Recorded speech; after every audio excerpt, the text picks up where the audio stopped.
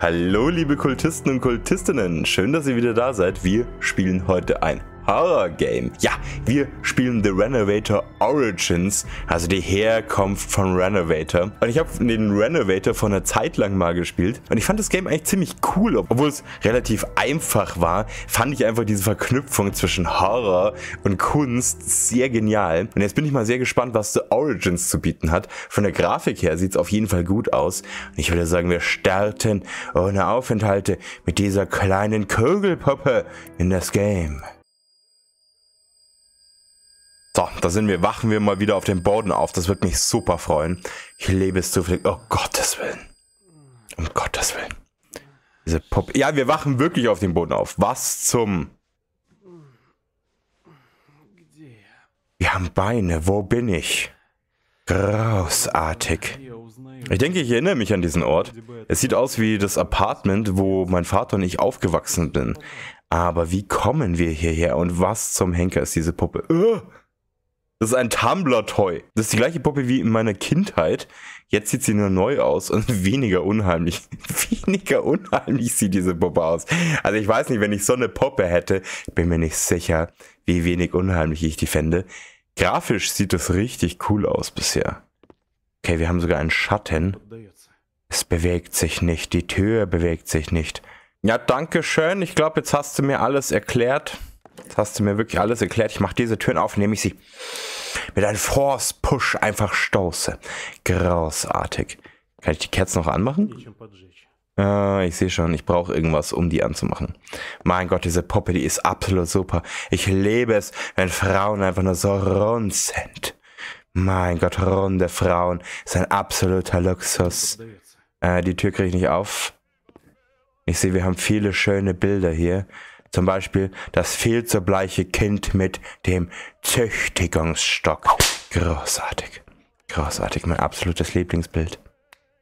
Jetzt ist dunkel. Jetzt ist hell. Okay, ich sehe, ich kann überall die Türen aufmachen und nicht da, wo ich will. Okay, hier brauche ich einen Schlüssel, weil es ein großes Schloss hat. Es macht überhaupt nichts. Ja, großartig.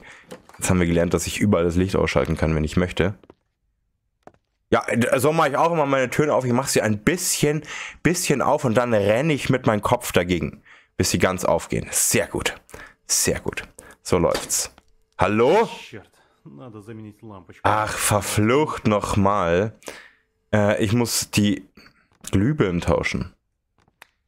Ja, okay. Das hilft mir halt überhaupt nicht weiter. Macht überhaupt nichts. Bisher haben wir überhaupt kein Problem bis darauf, dass wir Glühbirnen tauschen müssen. Licht an. Aus. Großartig. Ja, dann mach hier bitte das Licht an. Zeit für das Schlafzimmer mit dem kleinen Vogel.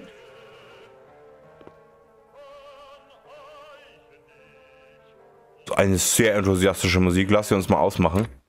Dankeschön, jetzt geht es mir ein bisschen besser. Äh, sind es Streichhölzer? Sind es Streichhölzer oder Kondome? Ich würde beides brauchen. Für dieses Spiel. Nein, nein, ich glaube wirklich nicht, dass wir Kondome brauchen das ist ein Teil vom Tagebuch meines Vaters. Er hat es seit der Kindheit aufgehoben. Okay, März 1957 ist schon ein bisschen alt. Mein Vater sagt, dass ich eine sehr starke Vorstellungskraft habe, aber ich weiß nicht, ob ich das Ganze nur träume. Es hat alles angefangen, seitdem wir aus Rumänien zurück sind. Manchmal aber gehe ich an einen Spiegel vorbei und mein Spiegelbild verhält sich seltsam. Oh, das ist echt mein Albtraum. Manchmal sieht es so aus, als wäre es langsamer als ich und würde mich anstarren. Okay, das ist super beruhigend, aber wenn ich das Licht anmache, ist es einfach verschwunden. Ja, großartig, großartig, das ist äh, super. super, ich liebe Spiegel. Ich weiß nicht, wie es mit euch steht, aber ich muss sagen, Spiegel machen mir auch des Nachts manchmal wirklich ganz schön Angst. So. Okay, das hat einen seltsamen Mechanismus. Ich frage mich, wie er funktioniert. Naja, es ist, äh, keine Ahnung, es ist, äh, okay, das ist wirklich was Seltsames. Und da ist ein Schlüssel drin. Da ist gar kein Vogel drin. Verflucht nochmal, ihr habt mich um meinen Vogel betrogen. Das ist ein technisches Magazin über, okay, das ist die Antarktis, die, glaube ich, gezeigt wird. Oder die Arktis. Ich bin mir nicht so sicher, ich bin nicht so gut mit Antarktis und Arktis. Als ein Kind war mein Vater nicht sehr beeindruckt von Kunst, aber von Wissenschaft. Ja, weil Wissenschaft Wissenschaft. So, Okay, hier ist noch immer dunkel. Das hilft uns leider nicht weiter. Vielleicht brauchen wir sowas wie Streichhölzer. Mein Gott. Und da ist der Sepp und seine Maria. Großartig. Ich liebe es. Den Sepp und seine Maria. Matches. Die nehme ich sofort. Die nehme ich absolut sofort. Äh, okay, das sind russische Bücher. Kann ich leider nicht lesen. Ist mein Russisch ein bisschen eingerostet. Ein bisschen eingerostet, seitdem ich nicht mehr Gorniak bin. Oh, schön. Aber russische Zeitung haben wir auch. Gut, was ist das? Mein Vater hat Schach geliebt, aber ich habe ihn immer als Kind geschlagen. Er sah total ruhig aus, aber ich konnte sehen, dass er ganz schön wütend war. Ach du liebe Güte, hast du deinen Vater auch noch wütend gemacht, indem du ihn im Schach besiegt hast. Woher kommt das Blut her? Äh, ja, das ist eine gute Frage. Ich habe zufälligerweise kein Nasenbluten. Ich habe aber Beine, das ist gut. Ich habe Beine, das heißt, es könnte mir das Blut runterlaufen. Nein, Nein, überhaupt nicht. So, hier, Zeit für eine Kerze. Brot. Ich liebe Brot. Und eine Banane. Mmm, Brot. Nein, nein, nein, nein. Ich singe jetzt nicht das Bananenlied. Ich singe jetzt wirklich nicht das Bananenlied. Ich singe nicht das Bananenlied. Okay, ich hätte hier schon immer Licht machen können. Das ist absolut großartig. Sieht so aus, als wäre heute der 12. März. Okay, schön. Okay, spielt das Ganze in den 50ern? Das ist ja krass. Mein Gott, wir haben irgendetwas Dreieckiges.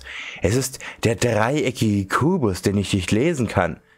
Was? Das ist Milch, 0,5 Liter Milch in einem dreieckigen. Okay, ich liebe die Verpackung. Ich liebe die Verpackung, absolut. Äh, was können wir noch? Mein Gott, mit echter Kuh drin. Großartig. Ich liebe echte Kuhsuppe. Mm, Kuhsuppe ist meine absolute Lieblingssuppe vielleicht. Ähm, ja, schön. Schön, jetzt haben wir zumindest ein bisschen Licht hier. Es wird auch immer mehr Licht. Nach was suchen wir hier? Warum sind wir hier im Apartment unseres Vaters? Mein Vater hat kleine Sachen oftmals in irgendwelchen Boxen aufgehoben. Das sieht absolut nach ihm aus. Okay, das kann ich nicht aufmachen, weil ich keinen Schlüssel dafür habe. Was muss ich denn genau machen? Muss ich alles Brot essen? Nein, hör auf. Muss ich die Banane lastiv in den Mund nehmen? Nein, hör auf! Hör auf! Dummer Lost mache ich echt, wirklich. Okay. Äh, war absolut cool in der Küche. Wir haben halt nichts gefunden, was uns irgendwie weiterhilft, aber war, war, war, war total nett.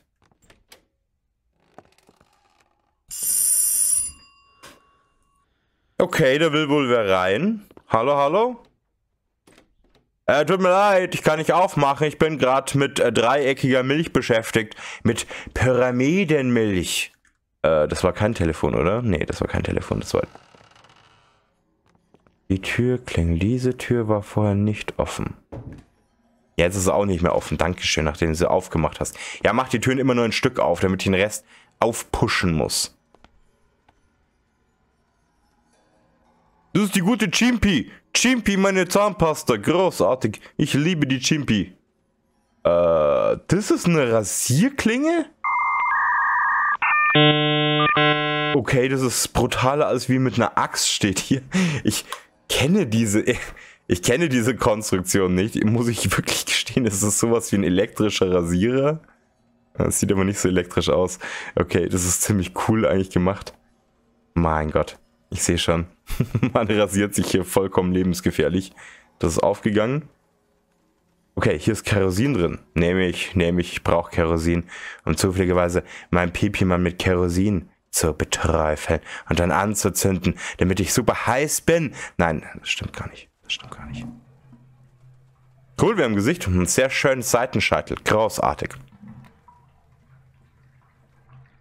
Okay, irgendwas hat das Licht hier ausgemacht. Uh, sieht so aus, als hätte jemand das Licht am Eingang ausgemacht. Ja, das hilft mir jetzt überhaupt nicht weiter. Äh, super, ich habe Kerosin, aber was mache ich jetzt damit? Hier ist es halt absolut nachtfinster. Komm, lass das bitte ein Lichtschalter sein. Was zum Teufel ist da jemand? Mein Gott, das ist die wippende, runde Puppe. Ich sage es euch, ich liebe runde Puppen. Ich hasse runde Puppen. Okay. Okay, bin vielleicht ein bisschen eingeschüchtert. Aber nur ein bisschen. Nein, kein Licht, kein Licht. Ah, schön, wir haben die Kerzen noch angezündet. Ah, das ist großartig hier. Okay, ich finde die Stimmung bisher richtig cool. Ach, Entschuldigung, das ist die Milch. One eternity later. So, ich musste tatsächlich das Game kurz nochmal neu starten. Warum? Weil die Lampe anscheinend vollkommen optional ist. Okay, ich werde dir helfen, mein Sohn. Finde den Familienring. Finde den Familienring. Okay, das ist eine Nachricht von meinem Vater. Er will herausfinden, was meine Familie verflucht hat. Ja, was hat denn die Familie verflucht? Also so eine kleine Info an die Entwickler. Lampen optional sind immer ein bisschen problematisch, wenn das Game plötzlich absolut dunkel wird. Okay, was haben wir hier? Mein Gott, Matches, die nehme ich sofort. Den nehme ich sofort. Ich brauche jetzt Kerosin, bevor das Licht ausgeht. Dann stehe ich wahrscheinlich wieder im Dunkeln und habe nichts zu sehen. Hallo, hallo. Ein Brief. Hurra, meine Familie ist aus Rumänien zurückgekehrt. Es hat sich etwas komisch angefühlt, während sie nicht da war. Ich hatte allein Angst im Apartment während des Tages und ich wollte nicht, dass sie für so eine lange Zeit verreisen. Meine Eltern haben mir viele Geschenke und Souvenirs mitgebracht. Und viel wichtiger, sie haben Antiquitäten von einer Auktion mitgebracht, aber mein Vater hat mir verboten, sie zu berühren. Er hat alles im Vorratsraum eingesperrt. Ich hatte keine Zeit, sie anzuschauen. Das tut mir so furchtbar leid. Es tut mir furchtbar leid, dass du dazu keine Zeit hattest. Aber ich suche gerade Kerosin, damit es nicht dunkel wird. Eine Lightbulb. Tatsächlich finde ich die jetzt hier. Okay, das ist ein bisschen weird, dass das Game so vollkommen asynchron abläuft. Also, dass du das Licht irgendwie optional finden kannst, ansonsten rennst du halt irgendwie durch die Dunkelheit. Du hast super Pech gehabt. Mein Gott, ich brauche vielleicht noch ein bisschen Kerosin für die Lampe. Es ist genau das, was ich will. Kerosin für meine kleine Lampe. Hier haben wir wieder das, den komischen Käfig. Okay, großartig. Ich kann die Lampe aus dem ähm, Inventar benutzen. Zumindest schon mal ein Vorteil. Dann ist es wenigstens nicht ganz dunkel. So, auf! Bin wieder da, hier bei meiner Bananenliebschaft. Und es ist absolut dunkel. Äh, so, wie zum Henker schaffe ich es jetzt, dass ich genug Licht habe, um die Glühbirne zu tauschen. Hier, Glühbirne tauschen. Ich möchte vielleicht die Glühbirne tauschen. Just. Es werde Licht und es wurde Licht. So, was gibt's hier noch Schönes? Okay, mehr Matches brauchen wir bestimmt noch, wenn es dunkel wird. Kerosin nehme ich auch sofort her mit dem Zeug. Ein Nudelholz und Zucchini. Ich liebe zufälligerweise Langgemüse. Was, was ist von hier oben runtergefallen? Hallo? Was bist du überhaupt? Kleiner blauer Verschluss. Okay, wir müssen uns hier anscheinend weiter umschauen. Ich muss herausfinden, was hinter dieser Tür ist. Aber wie? Auch irgendwoher einen Schlüssel. Keine Ahnung, woher nehmen, wenn nicht stehlen. Okay. Was ist das? Ein Dosenöffner. Äh, kann ich den nehmen? Nicht? Okay. Dann möchte ich wahrscheinlich kein köstliches Kuhfleisch essen. Mein Gott, aber die Kuh wird mir so munden. Die wird mir super munden. Okay, es hat wieder der dünne Mann das Licht ausgemacht. Aber diesmal habe ich eine Kerosinlampe. diesmal bin ich ausgerüstet gegen die Dunkelheit und gegen die dunklen Mächte. Äh, was, was hat er gesagt? Am Eingang. Okay, hier haben wir nochmal die Horrorpuppe. Jetzt sehe ich erst, dass das irgendwelche Hände sind, die diese Puppe weggenommen haben. Okay, krass. Okay, kann ich das Licht auch irgendwie wieder anschalten? Nicht? Okay, ich sehe schon. Das heißt, wir spielen jetzt ein bisschen gegen Zeit. Weil irgendwann geht mir natürlich das Kerosin aus. Was mache ich jetzt?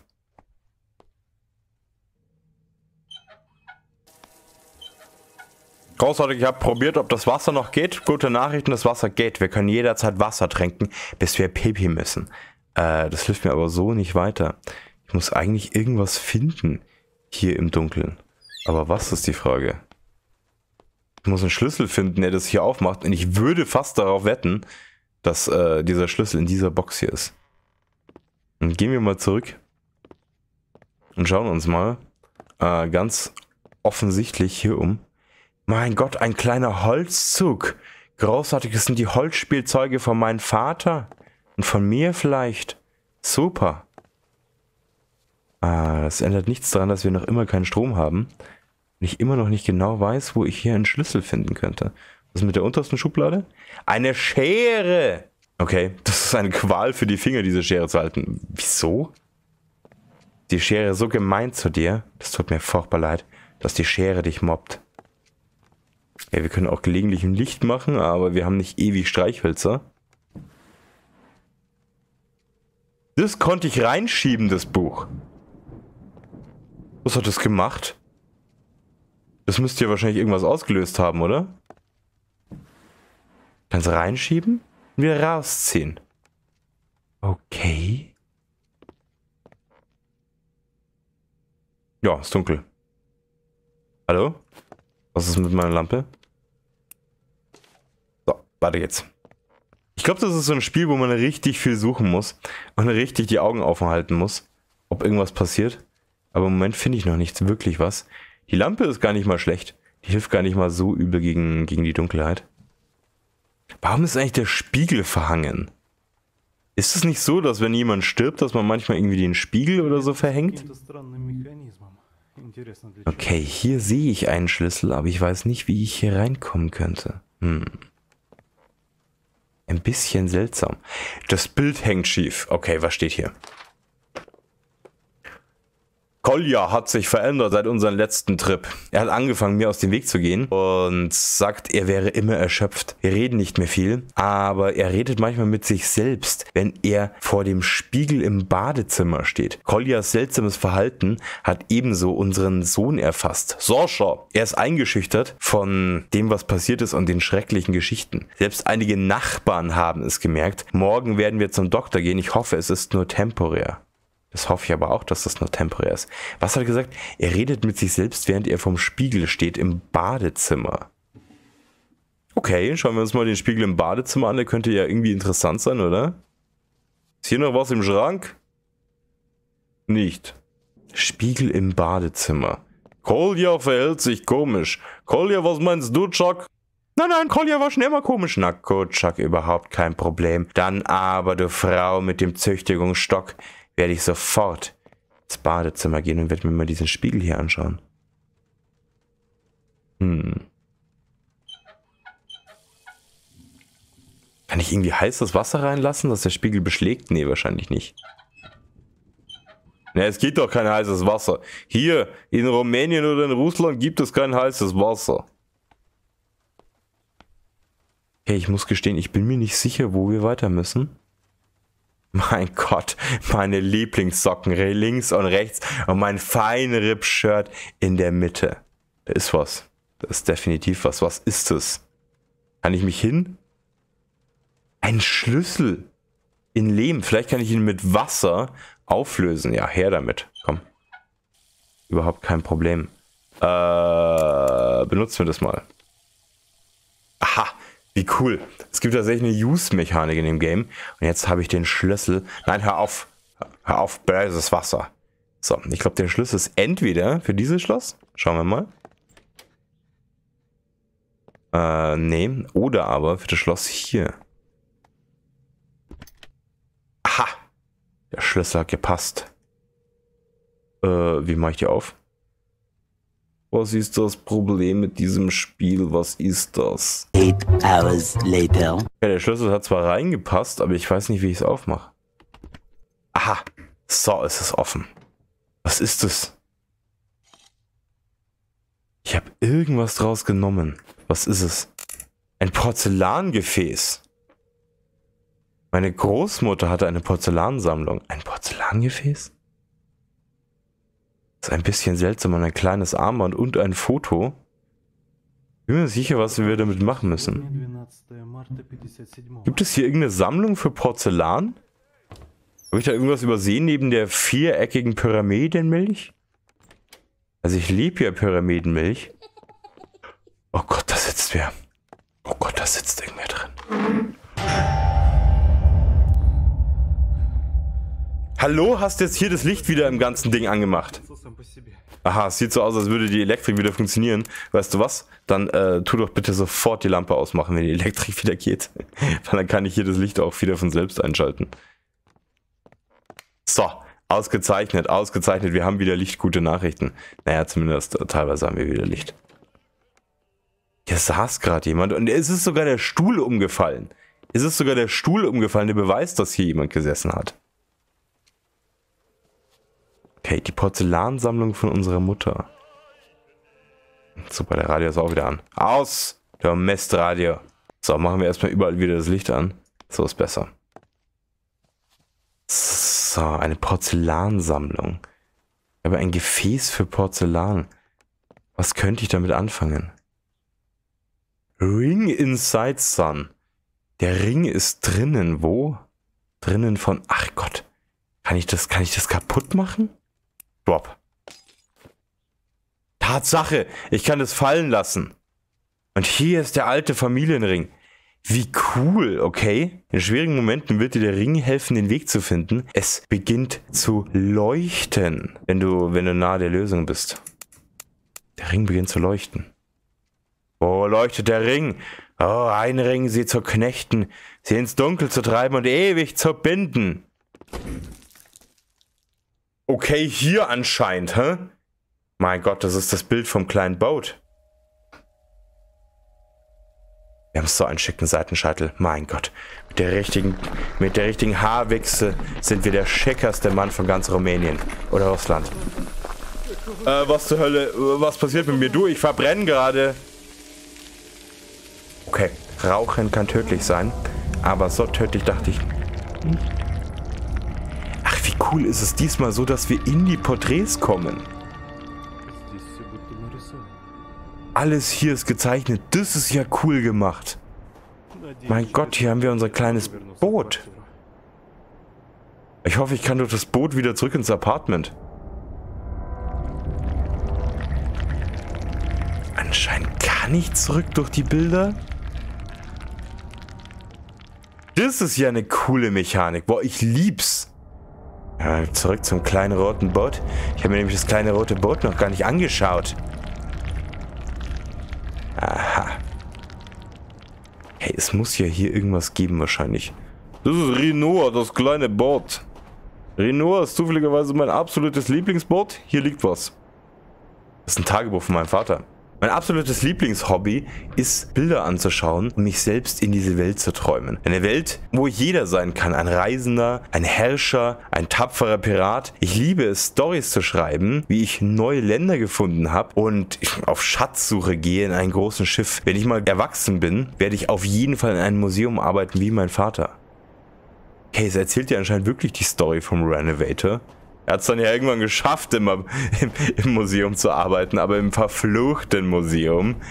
Okay, das ist echt cool gemacht. Das ist echt cool gemacht, dass man hier irgendwie in die Bilder reingehen kann. Kann ich ewig laufen? Aha, anscheinend nicht. So, ich gehe jetzt einfach mal in der Wüste spazieren. Klar, das ist das, was ich mir als Kind immer erträumt habe. Endlich einen kleinen Wüstenspaziergang. Äh, ich bin mir nicht sicher, ob ich hier was Intelligentes tue oder was vollkommen Verblödetes. Mai, die Pflanzen hier, denen geht's so richtig gut. Hier gibt's bestimmt super viel zu trinken. So Kirschsaftscholle oder so. 20 minutes later. Wie, wie, wie weit kann ich in das Bild reinlaufen? One hour later. Wisst ihr was? Das, was ich hier mache, ist, glaube ich, Wahnsinn. Ich renne immer weiter in die Wüste rein und folge der Sonne. Das ist total bescheuert. Äh, ich glaube, ich gehe stattdessen einfach wieder zurück. Okay, ich bin ewig wieder zurück, durch die Wüste zurückgelaufen. Wir gehen jetzt wieder, äh, wir gehen jetzt wieder in unser Apartment. Wir suchen lieber nach anderen Bildern, in die wir rein können, anstatt die Wüste.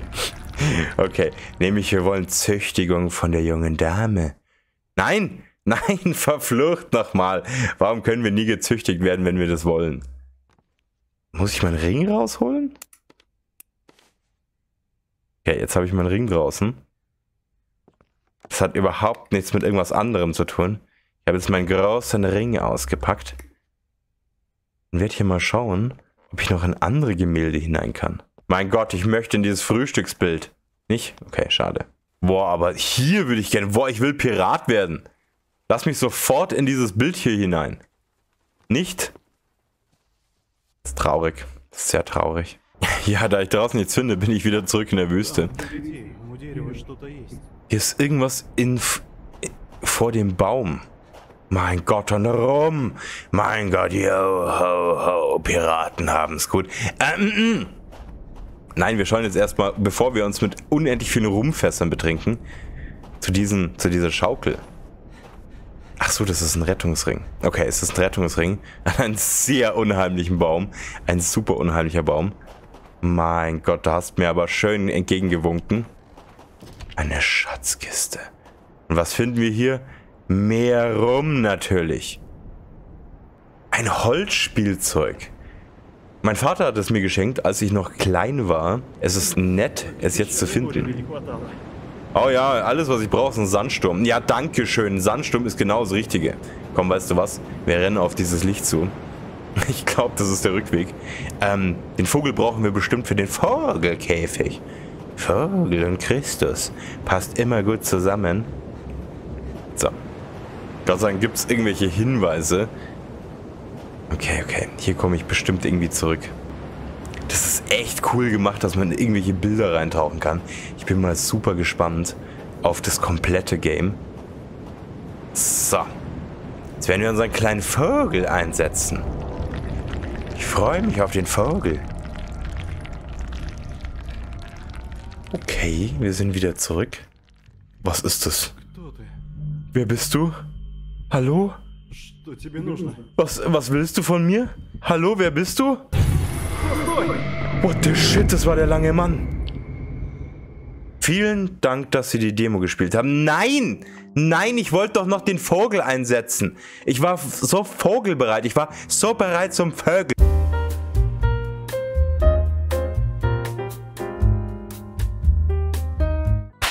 Ja, liebe Kultisten, da sind wir wieder im Anfangsbildschirm. Ja, schade, die Demo war ein bisschen kürzer, als ich es erwartet habe, aber ich fand sie richtig cool. Ich fand die Idee richtig cool, dass du in irgendwelche Bilder eintauchen kannst, die später war. Kleiner Tipp an den Entwickler, es wäre ganz gut, wenn die Lampe nicht optional wäre. Ich habe ewig im Dunkeln gesucht, aber ansonsten fand ich das Game vollkommen interessant im Moment und ich liebe ja zufälligerweise runde Frauenpuppen. Deswegen ist die Demo und das Game auch auf jeden Fall was für mich. Ich werde es mir auf jeden Fall, glaube ich, anschauen, wenn es raus ist. Schreibt mir mal gerne, wie ihr das Game fandet und ob es euch getaugt hat. Wenn ja, hinterlasst mir gerne ein Like oder ein Abo oder hättet die Doom-Bell für den nächsten Horror-Content.